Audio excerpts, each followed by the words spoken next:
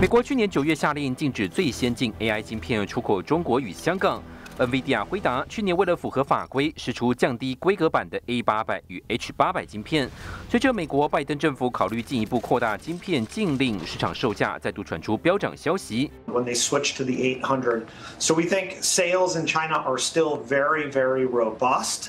There have been stories about smuggling other chips in with crates of live lobsters, for example. You can find those things. Uh, those stories out there uh, on the internet. I Think is that backlog for these products are tremendous right now. 路透社记者六月就曾秘密访查位在深圳的电子零件市场，黑市厂商甚至能够取得被禁止出口到中国的高阶 AI 晶片 A 一百，但价格为每片两万美元，是定价的两倍之多。外媒 WCC F Tech 五月报道，由于中国目前对这些 AI 晶片需求庞大，标准零售价格比原始厂商报价高出百分之四十。像是辉达 A 八百售价在中国至少一点五万美元，人民币十万起跳。I doubt they're stockpiling in the United States. They've certainly put in some orders. There might even be some double orders there. We saw this take place in the FPGA market around 5G, right before the U.S. banned those FPGA products. We think China has been doing this. They have been taking in supply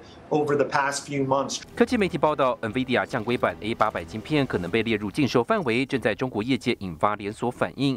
多家中企为了避免 A 八百、H 八百断吹，提前积压库存阴影。外界预期，一旦禁令扩大实施，将导致中国 AI 产业进入倒退停滞。新台电视高俊的沈维彤整理报道。